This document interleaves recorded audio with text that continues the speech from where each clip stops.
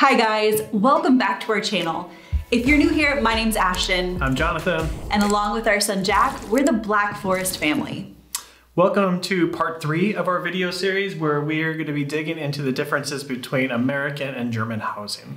Yeah, so in our very first episode in the series, we talked about the form, structure, and building materials of homes in both countries. In our second episode, we focused on purchasing trends and costs associated to buying a house in the United States and in Germany. But in today's episode, we're going to be looking a lot more in depth into heating, cooling, and energy costs, again, between the United States and Germany.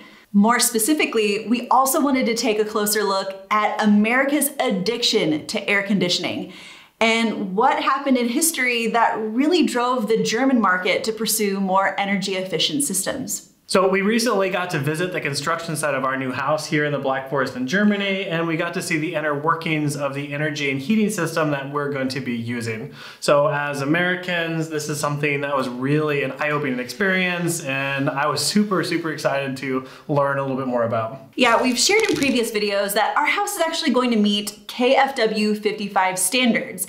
And in addition to specifications on building materials and the overall design, Part of that rating system actually does deal a lot with how energy efficient our home is, including its heating system and the type of energy sources that are actually supplying our home. And before you start typing, yes, we know this subsidy has been canceled recently by the German government. We got in and approved just in time. Yeah, we ended up being pretty lucky overall, I would yeah. say. Um, however, we did think that in talking about our KFW 55 experience and pursuing a more energy efficient home, that this would be the perfect opportunity to take a more detailed look into heating, cooling, and energy systems in Germany and what we were used to growing up back in the United States. All right, so let's go ahead and dive into part three of the series, heating, cooling, and energy use.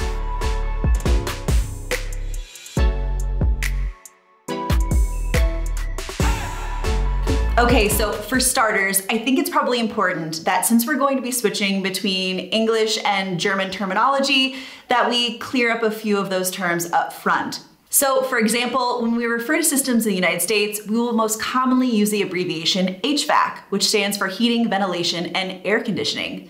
And similarly, when we talk about German systems, we'll probably also be speaking about HLK, which stands for Heizung, Lüftung, and Klimatechnik. So in addition, fair warning, our data in the United States is going to be in Fahrenheit and Germany naturally is going to be in centigrade and we'll do the best we can to show up both units of temperature on the screen. So let's briefly go over some quick statistics about both HVAC and HLK in the United States and Germany. So in the United States, as you can see from this map, the choice of primary heating fuel varies considerably by region, contributing to regional differences in total expenditures. Natural gas is most common in every region except for the South, whereas electric heating is more prevalent. Heating oil is much more common in the Northeast than in other regions, while propane is actually more common in the Midwest. However, we can say that as a whole, both electric heating and natural gas are the two most predominant heating sources throughout the United States. And in Germany, roughly half of the 40 million homes are heated with natural gas, a quarter with oil, and almost 14% with district heating. However, the trend in new German buildings is quite different. As you can see with the graphic, electric heat pumps and solar heat in combination with gas have, over the last decade, taken a leap forward. So switching gears here, going back to the US, the predominant heating system is going to be a gas furnace that's used in combination with a forced air heating distribution system, otherwise known as ductwork. This is really common because it's the exact same ductwork that will also be utilized typically for a central AC unit in their homes. However, by contrast, looking at Germany, the predominant heating system is of course radiant heat. These are usually through radiators either located in the floor, under a window, or as a heated towel rack in your bathroom. But we don't want to get too caught up in cost here. That is its own rabbit hole that we're going to dive down some other day for its own video, not today. But we did want to mention the differences in the cost of electricity in the United States and how that compares with Germany because this is a pretty influential factor in determining your heating solution solution or your air conditioning solution or lack thereof air conditioning. Yeah, absolutely. So to take a look at a couple of those numbers here. Currently, the average price of electricity for residential customers in the United States was 14.12 cents per kilowatt hour. That is, of course, American US dollar cents. However, by comparison, the average price of electricity for residential customers in Germany was 32.16 cents per kilowatt hour. Now, that is, of course, in euro cents. Now, I'm already getting cents and cents mixed up here. So, in short, Germans pay on average three times the cost for electric energy.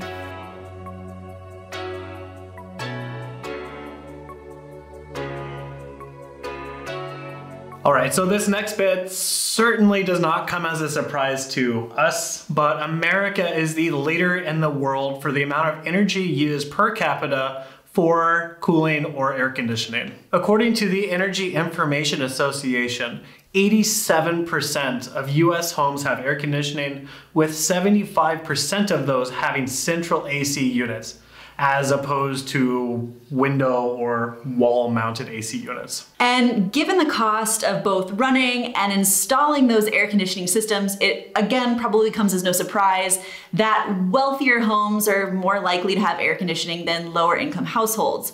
However, as you can see from this graphic, even among low income households, more than 75% have some source of air conditioning. Now, interestingly enough, in the United States, the biggest disagreement is not whether you have air conditioning or you don't have. it is what do you set the temperature to on the wall? Oh, and wars I are waged. To, yes, yes, wars sure. are waged over and this. This is definitely like the biggest rite of passage of becoming a dad is being in control of what temperature the house is set at. At least for my memories and everybody else or that I know. Thinking you're in control of the setting on yes. your house, sure. Criminy Dusty, you might as well give her your wallet and your 401k while you're at it. Brad, do you let the kids touch the thermostat at your house? What? No. The thermostat is a sacred covenant. I can't believe we're even talking about this. This is madness! According to a 2015 residential energy consumption survey, around 20% of American homes are set to 69 degrees Fahrenheit or lower when the people are home in the summer. Another 18% are 77 degrees or warmer. That, by the way, would not have been my home. No, thank you. But there are partisans for 72 degrees and 75 degrees and everywhere else. Quite frankly, it's a balancing act between comfort and cost. But the cost of this cooling obsession is staggering. The US is a nation with 329.5 million people, which is accounting for just 4.5% of the world population. And they consume more energy for air conditioning than the rest of the world combined. It uses more electricity for cooling than Africa does for everything, which by the way has a population of 1.1 billion people. But you know, a really interesting factor into all of this is that the beast of air conditioning seems to be one that is a self-feeding problem because air conditioners employ the same operating principles as refrigerators. They transfer heat from the cool interior, be it a fridge, room, or building, to the relative warmth outside. And this ultimately contributes to what's termed the urban heat island effect. One study found that AC units in Phoenix, Arizona heat the nighttime air temperature outside by up to 2 degrees centigrade, which of course encourages more residents to blast even colder air into their homes to compensate for it. It's like a runaway freight train. Exactly. And New York subway stations also bake in the summer to more than 48 degrees C, partially because air conditioned trains are just pumping out incredible amounts of heat.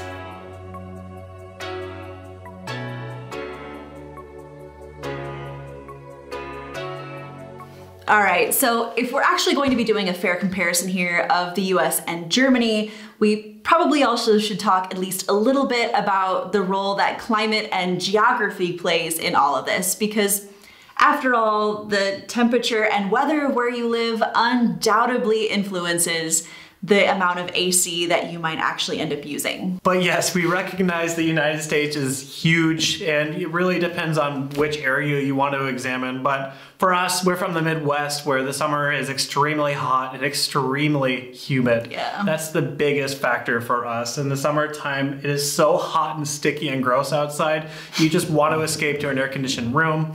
However, in Germany, we could still have plus 40 degrees C days in the summertime, but they are much more tolerable because of the lower humidity. It's so damn hot. Okay, so this next map is probably going to hit home for our American audience because I don't know about you, but for me, the maps that I was shown as a kid really made it sound like, in a longitudinal sense, where the US is and where Europe is, I always thought they were pretty level with one another. But as you can see from this map, that is totally not the case. The reality is, if we were to draw a line laterally from Berlin, we're pretty much going to end up on the southern tip of Alaska. But again, guys, without giving an entire lecture on meteorology, climatology, and oceanography, because if we're really gonna dive into that, that's like its whole other series here. The next map that I'm about to show you actually probably sums this up a lot more succinctly. As you can see from this graphic, to be blunt, America just has more extreme temperature patterns on average. It's hotter in the summer and colder in the winter. All right, so we get it. We live in a very green city and by comparison, a very climate conscious country. However, there are some advantages to air conditioned rooms and the heat of the summer that even some of our German friends cannot easily dismiss. Studies have clearly shown there's an improvement in work productivity, improved sleep patterns, and a reduction in mortality when you have the room cooled down. But Germany, and really all of Europe for that matter, have actually come up with some pretty ingenious ways of keeping the room cool even when outdoor temperatures rise. For starters, EU regulations actually force companies to design their spaces to be more energy efficient. In addition, many German buildings actually employ some pretty cool passive cooling designs, such as those exterior blinds that can help keep the sun out and help keep interior rooms a lot cooler. So for instance, my office where I go to every day, in the summertime it can get quite warm here as I've already said. So I come into work at about 7.30 in the morning, I open up every window throughout the entire office, I bring the temperature down, but once the temperature outside equals the new temperature inside, we shut all the windows, close all the blinds, and we're mostly good until about five in the afternoon where our arms can start sticking to the desk and it becomes a little bit uncomfortable, but then you go home. But that's kind of the key. Open up the windows, come in early, that's it. And there's really no need for air conditioning. But you know, quite frankly, in the long run, when we look at the air conditioning habits of Americans versus its European counterparts, it's really hard to not just see the absolute hypocrisy in all of this. After all, in light of international agreements on climate change and energy reduction, America's air conditioning addiction will make it harder for the United States to ask other countries to continue to abstain from using it in order to save energy. In fact, according to researcher Stan Cox, as he says, quote, the bottom line is that America's a big, rich, hot country. But if the second, fourth, and fifth most populous nations, India, Indonesia, and Brazil, all hot and humid as well, were to use as much energy per capita for air conditioning as does the US, it would require 100% of those countries' electricity supplies, plus all of the electricity generated by Mexico, the United Kingdom, Italy, and the entire continent of Africa.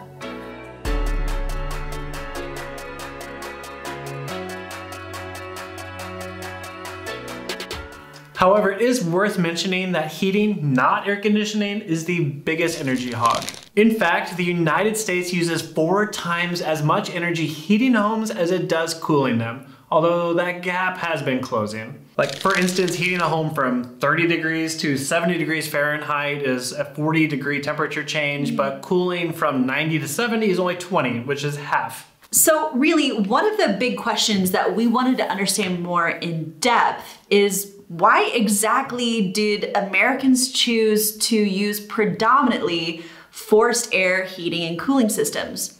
I mean, after all, when you look at radiant floor heating, it's far more efficient and cost effective in the long run. And believe me, guys, I did a ton of digging onto this subject, and it took me a few hours, But ultimately, the answer that I got for why this system predominates in the United States is just quite frankly, it's more convenient. This is what she's done all day. I mean, after all, they connect in most homes to an already set up gas lines and vents. Plus, they share ducts and vents with the central air conditioning system that most homes have in the United States.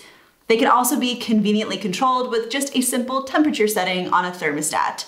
And in addition, forced air systems are maybe arguably easier to work on for maintenance needs.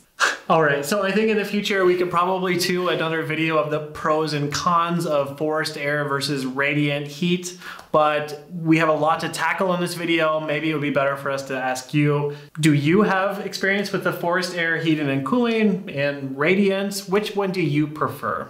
Yeah, I, again, I think there's a lot to unpack here, and ultimately, we would love to hear from you. So please let us know down in the comment section below.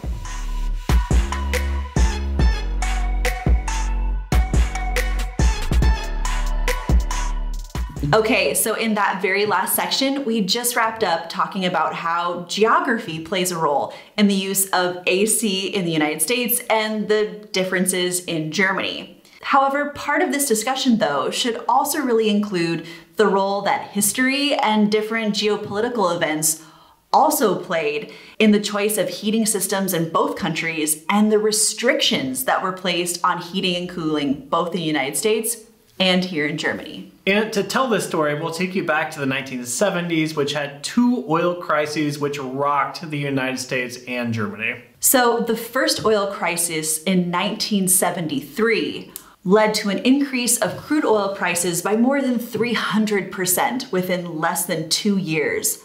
At that time, the explosion in the retail price of heating oil was affecting almost entire societies. Now, one could argue that this oil crisis in 1973 didn't affect the US as badly as it did Germany because at that time, the US still used a lot more natural gas for its heating needs. And ultimately, it isn't a coincidence that the 1973 oil crisis consolidated Germany's existing plans to cooperate with the USSR for natural gas. While OPEC's rising prices doubtlessly made Soviet resources appear more attractive, waning trust in the Middle East further bolstered the Soviet Union's reputation as a reliable trading partner. But let's keep this analysis focused on heating and cooling, not just energy production. Reacting to this development, unlike the United States, most European governments impose regulatory policies in the building sector aiming especially at new constructions, mainly by means of setting tight limitations of the thermal transmissivity values of the building's envelopes, of reducing the ventilation rates, and of increasing the minimum efficiency values to be achieved by new boilers. Okay, so fast forward to 1979. And at that time, Iran's secession of its oil supplies, which by the way amounted to 10% of the entire global market, led to again a huge price increase. Since Iran was its chief supplier, West Germany was hit particularly hard and had to look to other countries for imports. And also, Japan, Italy, the Netherlands, and the United States, who were also bulk buyers, also felt this squeeze financially. And the results of these two oil crises were twofold. First, Germany needed a very efficient way of heating their homes, and the added cost of air conditioning was not in the equation. But again, guys, I feel like I need to leave just a little bit of like a disclosure here to all of this. Uh, these events are just a couple of reasons for why the energy use, the predominant heating and cooling systems, how it ended up to the way it is today. Ultimately, you could give an entire semester long course on this topic alone, and we're trying to do our best here to give you a general summary of how everything ended up to be the way it is. But I think it's important to point out that before we close out this section, climate change has been playing a role in recent years. And quite frankly, it's put Germany in a pretty un comfortable situation. Because of Germany's climate, there hasn't been historically a need for air conditioning. However, the times seem to be changing. According to evaluations by the State Institute for Environment, Measurement, and Nature Conservation, they confirm the climate change trends. In 1953, for example, Stuttgart still had 25 ice days and an equal number of summer days. By 2009, the number of summer days in Stuttgart had risen to 45, while the number of ice days had fallen to just 15. And it's important to note here, with so many warm days, the number of window and portable air conditioners, the sales have been rising. Yeah, I think anybody who has been living in Germany for the past few years and have gone through one of those heat waves in the summertime yeah, if you tried to head over to Bauhaus to buy yourself an air conditioner, you probably would have found that they were completely sold out. But you know, honestly, we've heard plenty of other reasons for Germany's resistance to air conditioning. Yeah, in talking with some of our German friends and colleagues, they've listed off a litany of reasons for why Germans really don't tend to embrace air conditioning like us Americans do. They've listed everything from the fact that, quite frankly, German buildings are just older and it's harder to retrofit central AC units into them. And if they do, that's kind of why they generally just tend to have window units. But they've also listed out other things, including statements like air conditioning makes you sick, which I thought was quite interesting. So we know that we have a pretty sizable German audience, so this would be a really good opportunity for us to ask you, do you agree with having an air conditioner in a private home? Yeah, and if you're actually one of those people who lives in a pretty warm part of the country, like 40 degrees C, did you cave and buy an air conditioner yourself for your own home? Or do you have any other tricks to keep yourself cool in the summertime? Yeah, please guys, leave those down in the comment section below. Again, we would love to hear from you. This is always such a really fun part of these videos.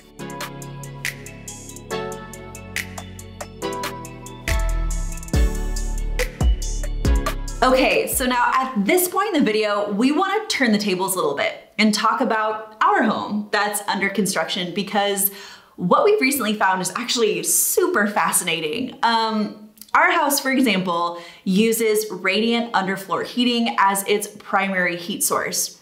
It's great because it means that individual rooms can be temperature controlled, I guess, room by room, which means you can set the temperature to exactly how you like it, or you can turn the heat down in the rooms that you're not using at that time. So where the hot water comes from for our underfloor heating was super, super interesting for us. Our new town has something called a Fernwärme system or a district heating system, mm-hmm. which means that we are part of a combined heat and power system. So essentially how this works. District heating is the supply of buildings with the heat and hot water as a form of thermal energy. The energy is delivered directly from the utilities' combined heat and power plants via insulated underground pipes to the connected residential buildings in the supply area. And interestingly enough, district heating is not only incredibly efficient, but it's also very environmentally friendly.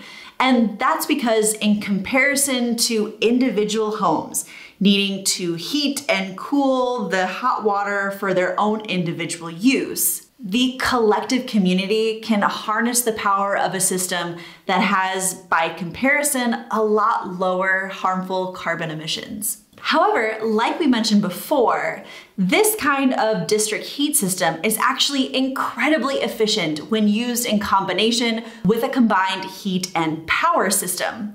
And interestingly enough, the German city of Dusseldorf is a wonderful example of this. In Dusseldorf, energy sources are burned in the boiler in the combined heat and power plant. In this system of producing power, steam is produced, the energy of which is converted into a rotary motion by a turbine, similar to a bicycle dynamo, in a generator that generates electricity from the rotary movement, which is fed into the power grid. However, this kind of energy production generates waste heat. The heat produced then reaches the buildings in the vicinity of the power plant by means of water or steam via a well insulated pipe system. So for our house, the hot water that flows in to heat our floors is taken straight from this district heating system. And we have a meter on our house which will measure the amount of hot water that we use and then we are billed accordingly every single month. However, our municipality takes a slightly different approach to the production of this district heating system than that of Dusseldorf. Our city is able to utilize 100% hydroelectric power and solar power to provide the energy needs for its residents. And while I guess this does produce some heat as a byproduct, our city actually uses a secondary heating source for the generation of district heating. So specifically, our town uses the burning of wood chips that have been supplied from the surrounding black forest to heat up the water that's then distributed through this district heating system. According to our energy producer's website, wood is a CO2 neutral fuel, since burning wood produces as much carbon dioxide as a tree consumes when growing. In their perspective, wood chips are therefore not only cheaper, but also more environmentally friendly than conventional energy sources such as coal, oil, or gas. And the wood chips are obtained either from forest maintenance wood, sawdust wood, or landscape maintenance wood. And in order to keep the additional CO2 emissions during transport as low as possible, again, they obtain their wood chips from the surrounding black forest to avoid additional environmental pollution.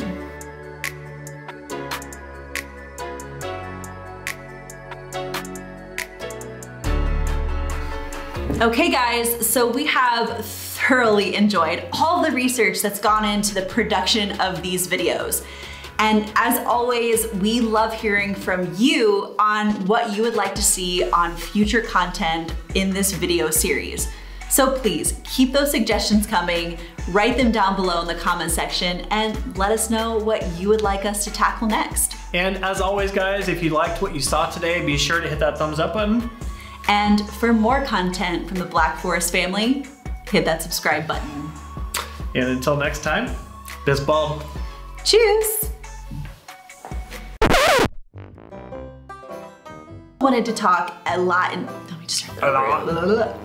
You did kind of want to kind of, you did kind of want to kind of. Kind of want to, kind Kinda wanna. kind of want to, kind of. That's some nice Midwest talk there. I kind of want to. I was reckoning. I was thinking about I was kind of wanting to kind of talk about that. oh man. Okay, mm. anyway. Seemed like Europe and the United States were like latitudinally, latitudinally, Latitudinally. latitudinally.